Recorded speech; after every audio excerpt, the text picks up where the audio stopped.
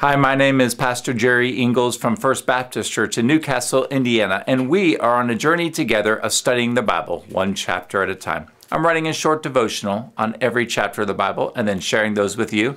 Today we're looking at 2 Samuel chapter 24. Have you ever made a costly mistake? King David did. He ordered a census, which took over nine months to complete. Check out 2 Samuel chapter 24, verses 1 to 9. His costly mistake brought judgment upon the nation of Israel. God confronted David and offered him three options on how that judgment would unfold. And David chose pestilence because he trusted that God's mercy would prevail in the end. Check out 2 Samuel chapter 24 verses 10 to 14.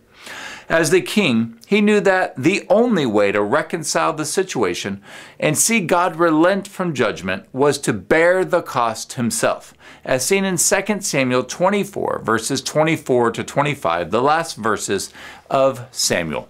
However, the king said to Araunah, No, but I will surely buy it from you for a price, for I will not offer burnt offerings to the Lord my God, which cost me nothing. So David bought the threshing floor and the oxen for 50 shekels of silver. David built there an altar to the Lord and offered burnt offerings and peace offerings. Thus the Lord was moved by prayer for the land, and the plague was held back from Israel.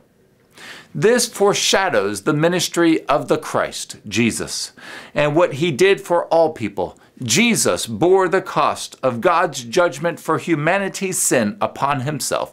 As expressed in 1 Peter chapter 2 verse 24, he himself bore our sins in his body on the cross so that we might die to sin and live to righteousness. For by his wounds you were healed. Jesus, who knew no sin, took on our sin so that we might be reconciled to God and experience his healing. In response to this great act of mercy, are you willing to make a costly sacrifice to God? Seize the moment and, quote, present your bodies as a living and holy sacrifice acceptable to God, which is your spiritual service of worship. Romans 12 1. Seize the moment.